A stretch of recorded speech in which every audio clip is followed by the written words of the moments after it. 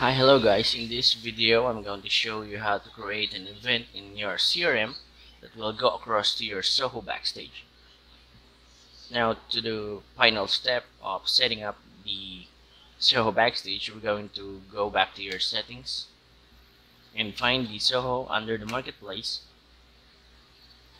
and click setup now under the Zoho Backstage then you get started. And in here we're going to choose the portal with that we have created and it's the CRM and click enable. And in here we're going to choose the module where we are going to pick or choose the attendees from. Now attendee here is by leads. Now we're going to change it by contacts. And click update. And that's it we already set up your Zoho backstage. And in creating an event we're going to go to your module campaigns then create a campaign then select Zoho backstage. Now in here we're gonna fill up the information about your event that will happen. So for example we're going to give a name for that event. Let's say the event will be a music festival that will will start on May May 15, 2024 at 8 a.m. in the morning up to also at May 15, it will end on May 15, 2024, the same day, but the time is 8 p.m. So it isn't a 12 hour event.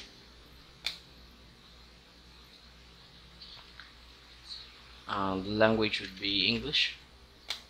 It's an universal language.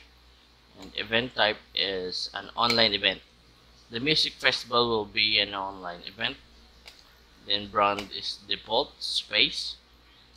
And uh, I think we have filled out the important informations about your event. And here in the description let's say it's an online music festival.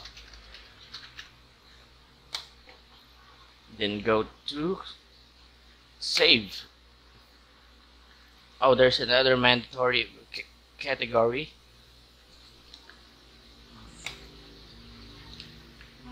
it's about entertainment and humor. Then hit save. So if there was an event there is also attendees.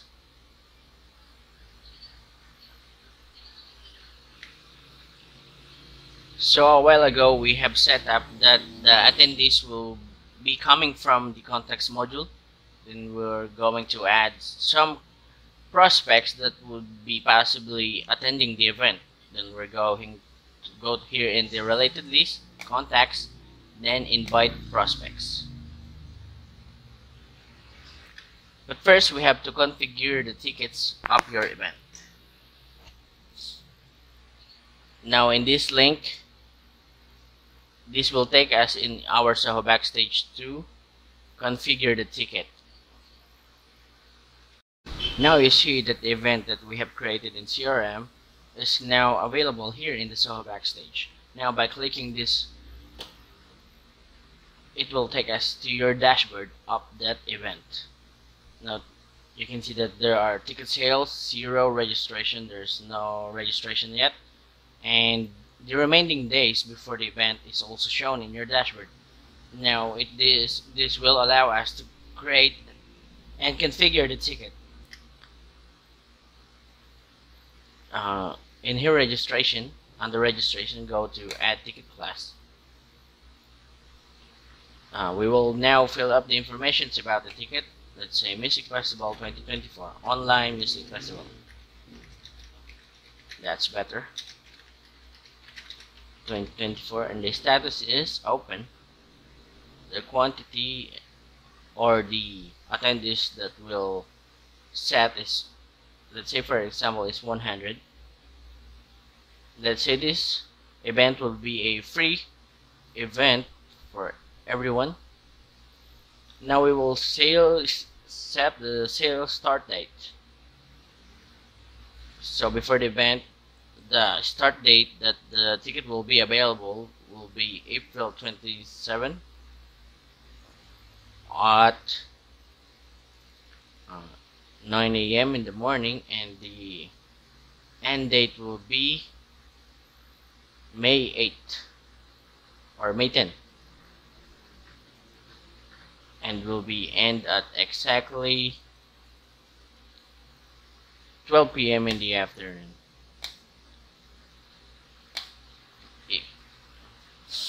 If you click this event end date and now it says that the availability of the ticket will be on this on the said end date. And if you click now the start date of the availability sales will start of course today. But we have just set our sale start date and our end date of ticket buying. Then description let's say music ticket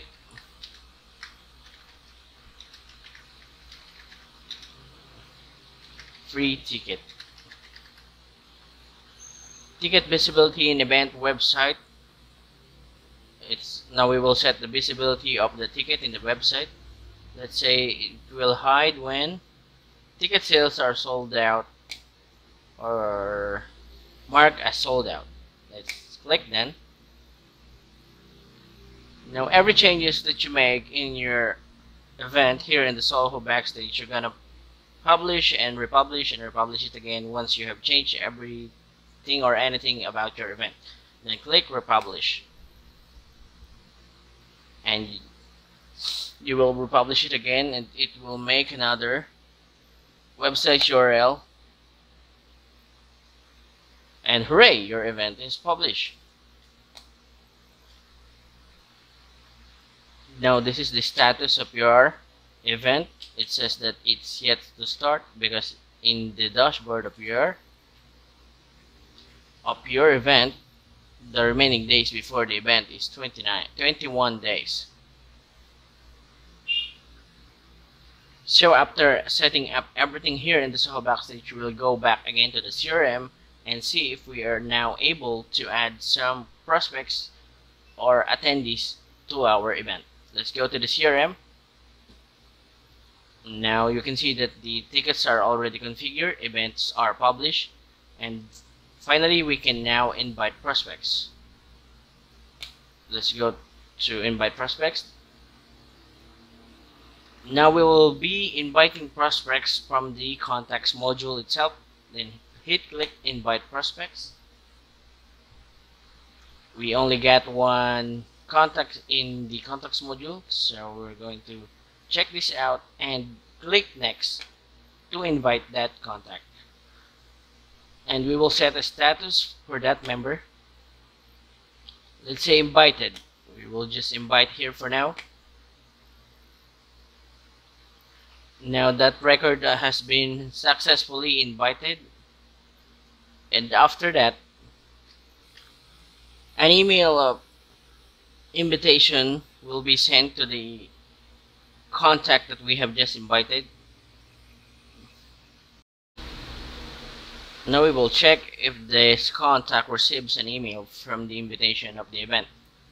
Let's check the email. Now there is a an email received by the contact. Let's open this one. And it says that there's a musical music festival an invitation. Hi, Johnny, an organizer of music festival is interested in inviting you to the event. Now we're gonna click sign me up. And the subscription is confirmed. And showed the contact will register to the event. And here he will purchase a ticket. Let's say a one ticket for the event and click continue.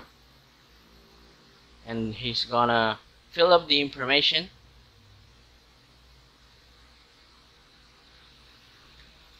Let's say Johnny Carpenter. Email is johnny at the crm carpenters. Phone is company name is carpenters designation is uh,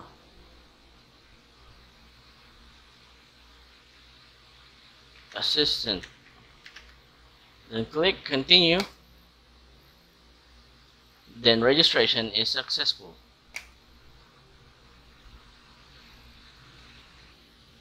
Now after that contact has registered to the event its service status in the CRM will change from invited to yet to check in.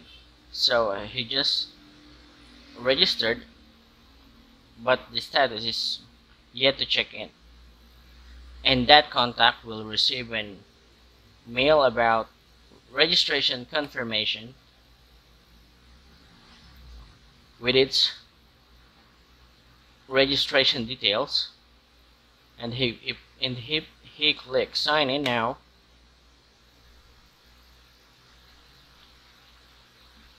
that link will take him to the event. And what if the event is happening right now? It's just a couple of minutes from now and the event will start. He will then gives the capability of choosing a profile picture for his personal mm-hmm. information about joining the event then if he already fill up the information gonna click done. And click check-in. So that contact has checked into the event. And let's see the dashboard of that event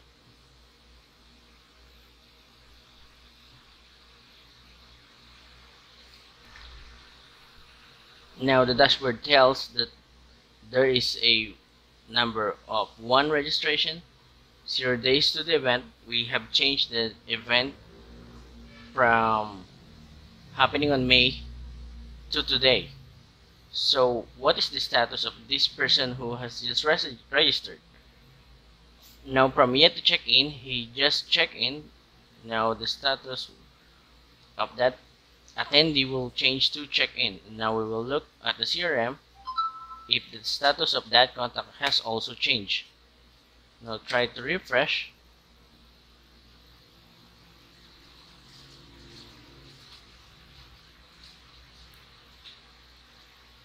And we will check the status of that attendee.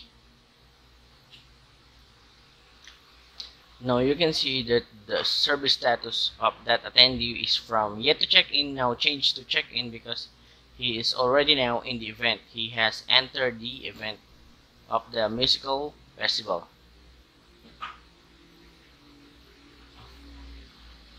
And so that's, ju that's just how easy you set up the Zoho Backstage down to creating an event and navigating the dashboard and setting up ticket, configuring everything and publishing the event that will have a connection to your CRM down to your Zoho Backstage. Thank you for watching this video. See you again for more videos.